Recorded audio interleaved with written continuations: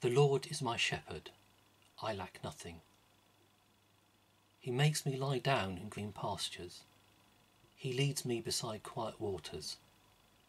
He refreshes my soul. He guides me along the right paths for his name's sake. Even though I walk through the darkest valley, I will fear no evil, for you are with me. Your rod and staff, they comfort me. You prepare a table before me in the presence of my enemies.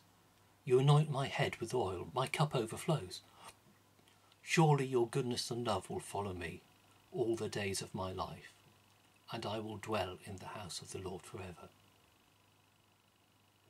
This must be one of the best known passages in the Bible, even by many people who don't attend church.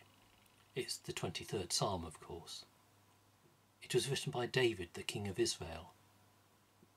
There's two interesting facts about David. He's the only person in the Bible named David. Many names are more than one are used by more than one person. There are even three Jesuses, but there's only one David and he's also the only person described by God as being after his own heart. He may have been a man after God's own heart, but that didn't stop him from getting things wrong or having troubles in his life. Many of the Psalms reflect on this, including this one, and like this one, they end with a statement of trust in God. The valley the world is walking through at the moment is pretty dark, but we can say with David, I will fear no evil, for you are with me. Let's remember that over the coming weeks.